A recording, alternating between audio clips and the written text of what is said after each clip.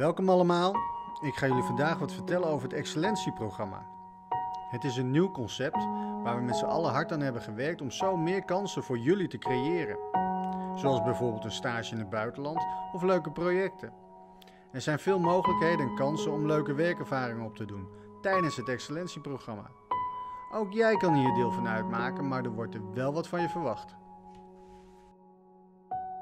Stap 2. Dat is hard werken. Iemand die aan excellentie meedoet is per definitie niet lui. Je moet een tandje harder willen lopen. Ze moeten echt uitgedaagd worden. Eisen stellen naast nieuwsgierigheid. Ze moeten kunnen accepteren dat er eisen aan ze worden gesteld. Je moet jezelf blijven uitdagen. Dat doe ik ook als docent. Over grenzen heen kijken, goed kunnen organiseren en bruggen slaan tussen de disciplines. Te leren de mogelijkheden in onmogelijkheden te zien. Altijd kansen te zien, niet de bedreigingen. Excellentie is eigenlijk een pilot voor het toekomstige onderwijs. Wat mooi is aan zo'n excellente groep, is dat je alleen maar positieve mensen bij je hebt die ook willen. Dan kom je op een bepaald level en ontstaat er iets. Ik heb soms bij leerlingen die voorbij komen waarvan ik denk, er zit zoveel meer in. Want talent zit niet alleen in de bovenlaag, talent zit overal. Stap 3. Meebewegen. Beweeg niet steeds mee met de makkelijke kant. Het beste uit jezelf halen. Dat is voor mij nooit een eindpunt geweest.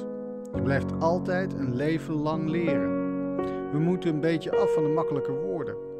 Je moet elkaar ook normaal dingen kunnen uitleggen. We willen kijken of we aan de hand van het aanbieden van aandachtstrainingen we bij jullie het bewustzijn voor eigen talent kunnen bereiken.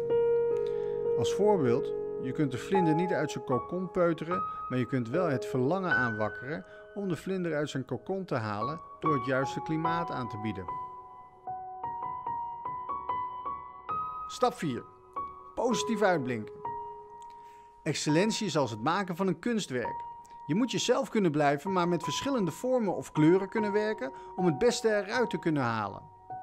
Er moet een omslagpunt komen om jullie meer vakinhoudelijk te begeleiden en de kans te geven om jullie talenten te gebruiken.